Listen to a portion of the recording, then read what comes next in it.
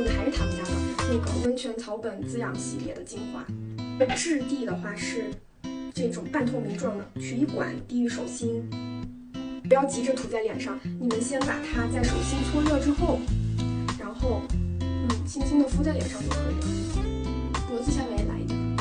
他们家这个精华很轻薄然后春天这种比较敏感的季节就不会说给皮肤带来很大的负担涂完精华的话皮肤也是很水。